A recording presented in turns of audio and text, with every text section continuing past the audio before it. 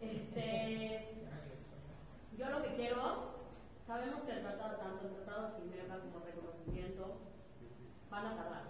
No es algo que puede pasar ya.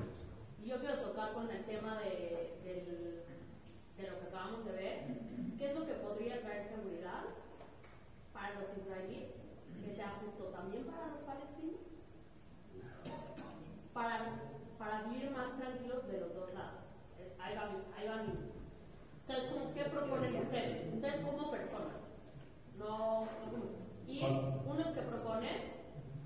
Si existen algunas campañas que conozcan, que nos informen.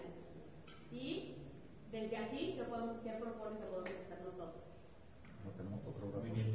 Dos minutos cada uno. ¿Usted quiere empezar? Una de las soluciones desde aquí, y no soy chelar de la SOCNUT, y no he logrado convencer a mi esposa, pero probablemente gran parte de la solución sería hacer aliado. ¿Ok?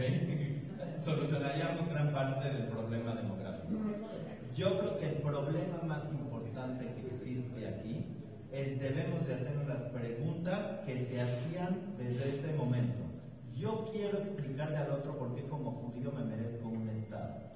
Yo hoy en día entiendo por qué los palestinos son un pueblo y se merecen un Estado. La pregunta es, creo que es una pregunta de esclarecimiento. Si nos alejamos de los temas de seguridad, de los temas de ocupación, de las discusiones de derechos y también ponemos una discusión arriba sobre qué razón tiene el pueblo judío para tener un Estado, el mundo en general podría obligar otra vez ese reconocimiento que se da por parte de los palestinos. Hay cosas que yo no te puedo pedir si te reconozco porque te mataría. Hay cosas que estarían fuera de la línea. Y creo que esa es una parte importante, un esclarecimiento.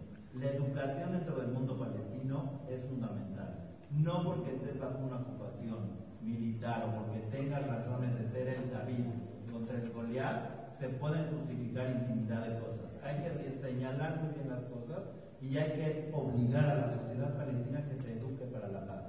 ¿Por qué no existe la ONG que vimos acá? Es una ONG israelí. ¿Dónde están las ONGs palestinas? ¿Dónde están esos movimientos palestinos?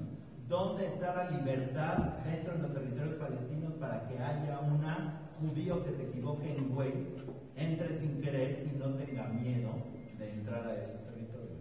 Eso es lo que necesitamos que suceda.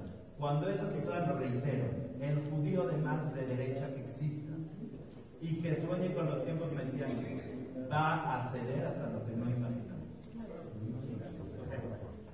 Yo lo que haría sería invitar a no tener miedo a la